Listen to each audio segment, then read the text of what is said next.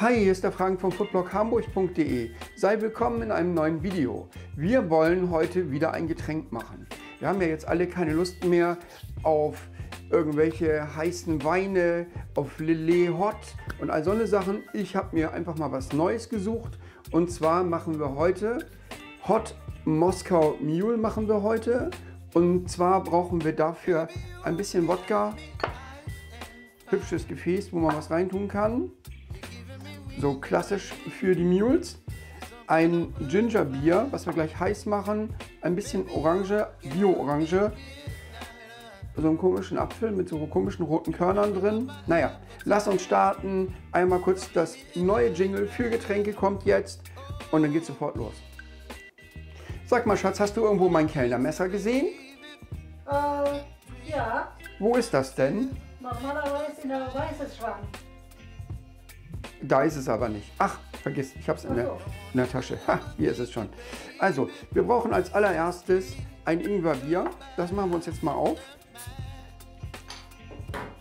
Und das müssen wir in einem Topf oder in einem anderen Gefäß uns erwärmen. Ich tue das hier mal hinein. So, ich mache mein Herd jetzt an und lasse den einfach aber nur auf vier von neun Stufen laufen. Wir wollen das nur erwärmen, heiß machen, nicht kochen. Mein Wasser, was hier aus dem Wasserhahn rauskommt, ist verhältnismäßig heiß. Ich spüle damit jetzt einmal kurz meinen Becher aus, nehme mir meinen Wodka und fülle in meinen Jigger 4 Milliliter Wodka, tue die hier in meinen Becher hinein. Meine Apfelsine habe ich gerade eben mal eine Runde abgewaschen. Die schneide ich mir jetzt hier kurz auf.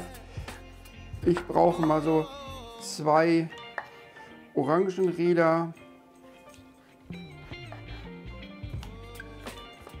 Die halbiere ich mir auch.